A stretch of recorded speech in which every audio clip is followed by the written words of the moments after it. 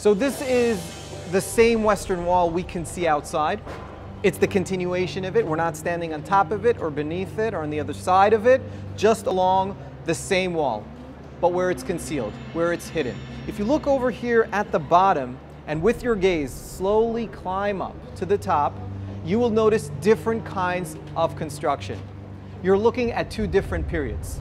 1400 years ago, when the Muslims first came here, they find parts of the wall ruined, destroyed. They decide to renovate.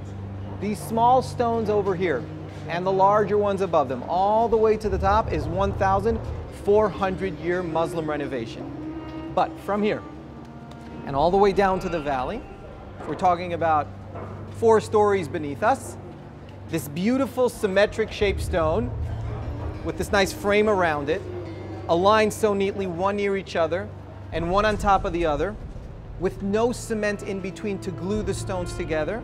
So uh, look at me, don't follow me. I want to show you something.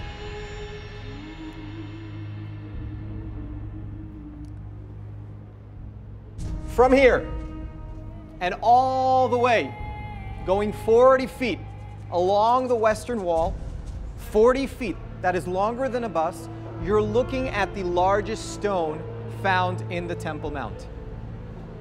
It is 12 feet high and 14 feet deep. It weighs close to 600 tons. And the big question is how? How do they carve a stone like this? How do they roll it here? How do they lift it up and place it so accurately? I believe a good question deserves even a better answer. The answer is we don't know.